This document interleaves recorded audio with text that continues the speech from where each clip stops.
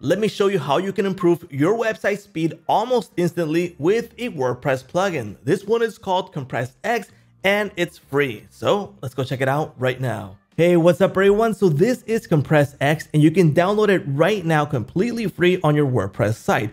The idea is to convert your images to WebP or AVIF. This is gonna reduce the size, it's gonna almost look the same, and it's going to load even quicker. So that means that you're going to get a better SEO score because it's going to be optimized. All right. So download it right now on your WordPress site and start running it right away. Now, this is my demo site right now. It's a hotel site where I have some images available right here, and I'm getting some horrible scores right here. This is my current page score of 63, which is um, really bad, especially for mobile and desktop I'm getting 88, which should be easier to accomplish almost a 100% because it's easier on desktop. But 63 on mobile is really bad. And reason for this is because it's taking longer to load. The images are not in the format that they want. So you can see here, surf images in next gen format. That means that they want it in WebP or AVIF, right? And in terms of GTmetrix, I'm also getting some really low, slow loading times. And you can see here the waterfall. Let's go ahead and find the images and they should be around here. Here it is. Okay, so we got some images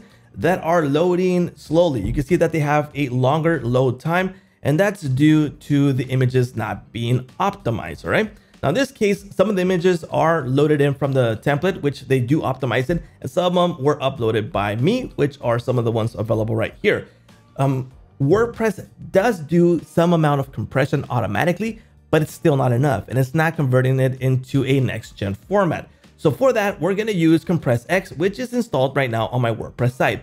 I haven't run this, so it's a brand new install, and you'll find that option right here. Now, if you want to install the plugin, go to plugins, add new, search for CompressX, and activate it. It's, it's free, right? So you can see here, I'm on the free version. So what I want to do is enable to convert the images as soon as I upload them. So if I create a blog post, a new page, etc., this will automatically do the conversion for me, all right? And then I have the process option here. So I can do GD and Magic X. Now do check out this question mark to decide what you want to use. In this case, this would be the best option because you'll have other options available due to this selection, all right? Now these are the pro options, which I won't enable now. And then we have the compression level. Lossless means that it's hardly going to do any compression or changes at all.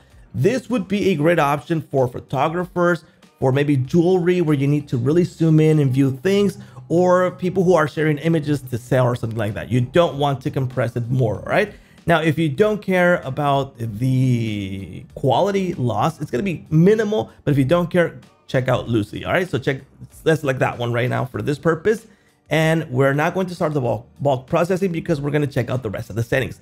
So we got general settings. You can use rewrite tool or picture tag. Uh, be aware that depending on your access to the servers, this might not work. So you do select the other one, right? Then you have do not convert PNG images. So if you want to select that on, go ahead and tick these on. In this case, I'll leave it as it is.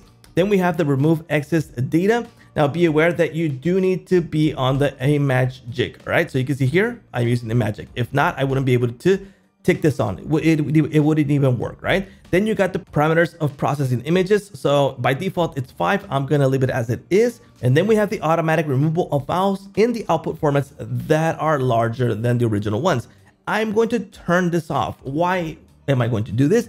Because even if it changes it to AVIF or WebP, and if it's larger than, larger than the original file, it's going to remove it. And in this case, we want to keep it because we want to use that new gen format, even if it's a bit bigger, right?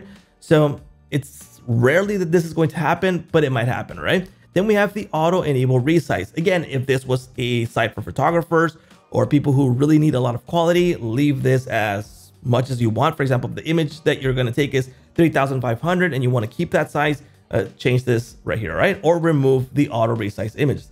In this case, we want to really optimize. So we're going to go to 1500. So if it's bigger than that, it's going to resize it and it's going to improve the speed by loading it quicker, right? Then we also have the option to remove the header, always set to cache control private. I'll leave that uh, off. Let's go ahead and save this and go to the next settings. Here we go. Then we have to choose the thumbnail size you want to process. So if you have a, a large amount of images, maybe this is an old site where you have a classified ad site and there's like 500,000 images, maybe you want to skip the smaller ones and just do the original So it's up to you if you want to set all these on or off. I am going to leave them on for this purpose since I don't have a lot of images, but it will depend if you want to do them all, all right? Then we have the excluded folders. So if you want to exclude folders from being optimized, that is possible.